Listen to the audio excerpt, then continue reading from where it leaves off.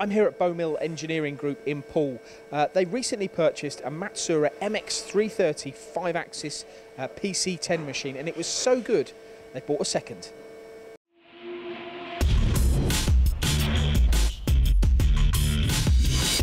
Mike, the Bowmill Engineering uh, Group, uh, we're here at one of a few sites, aren't we? Can you tell us about the company? Yep, certainly.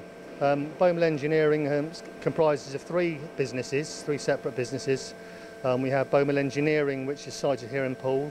We have Bowmill Metal Treatments that are sited in Poole, but three or four miles up the road. And we have Bowmill Tewkesbury, which are in Tewkesbury in Gloucestershire. Okay, some company, isn't it? I mean, I've, I've heard of the business before. In fact, I think we've been been here before, but things are going well for you. Yeah, absolutely. The company started in 1970 and comprising of one small unit on this site, and it's grown since then to um, uh, basically around 72,000 square feet of factory space over the three sites. Okay, so what sort of parts are you making throughout the group then? Um, it's predominantly aerospace parts, um, some parts for defence and some parts for marine, but we're, we're mainly aerospace. Uh, people watching the video will have noted this machine behind you here. Uh, what instigated the purchase of this new Matsuura MX330, Mike?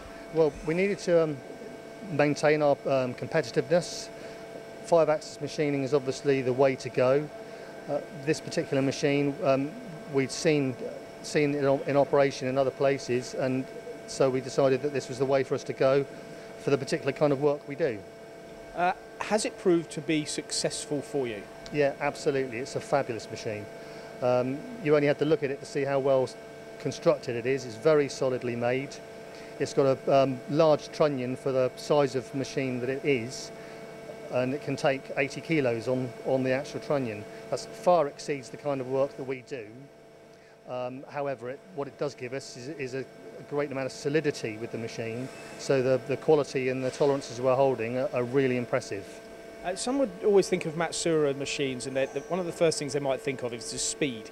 They might think they can get their parts off the machine quicker, which which is true in a lot of instances. But that wasn't really the ambition for you, was it? It was more about what we're hearing a lot about the unmanned activity. Absolutely. Um, obviously, you're still always trying to get the cycle time down as fast as you can. However, because the machine runs unmanned and you have 10 pallets, you can keep the machine going for long periods of time. It can run through the night. It runs all day long, tea breaks, lunch breaks. It doesn't need anybody most of the time near the machine. Um, we use the probing cycle um, on, on the parts of the machining at the moment, and that's giving us a positional tolerance of microns, three or four microns. Um, even when you rotate the part 180 degrees and flash both sides, it, it, the parallelism it's holding is down to microns. Uh, I'm sensing a bit of a, a habit uh, around engineers we're visiting with these machines, and the same has happened here. You bought one and you just ordered another. Absolutely. Um, we've had this machine about eight months. Um, we've got another one being installed in our Tewkesbury site. It's, it's there now. It just hasn't been commissioned.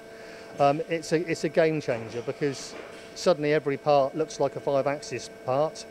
We make lots of kit parts for A320, A330, and it would be very applicable a machine like this. You could have 10 different parts on 10 different pallets. So let's have a look at one of the applications that you're actually doing here on the machine. Could you maybe pick up this part and talk us through how this uh, solution has helped you? Sure.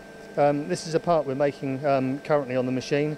Um, previously, before we had this machine, it would have been a probably a three, at least a three op um, part um, maybe even four.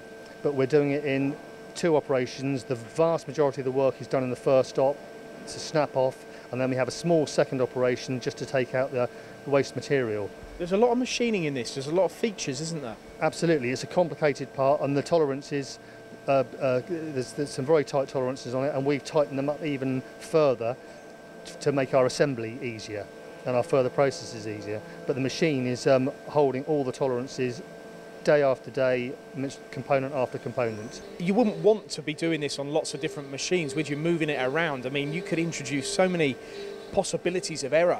Absolutely, because it's all done in one op. You know that the, the part, the, the integrity of the part is is is good, and everything's going to come out the same each part after part. If we were doing it in three or four ops, there's all kinds of errors, and you end up with blends and mismatches and things like that that, that affect the visual look of the part. You've been you've been uh, thoroughly impressed with the machine itself and obviously what it's producing for you.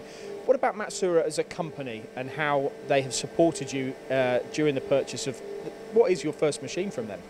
Yeah, Matsuura have been excellent. They, um, they, have given us um, terrific support on the training, um, the, uh, the programming, any problems we have, they're at the end of the uh, phone and we phone them up and they respond very quickly. They've been, they've been very good.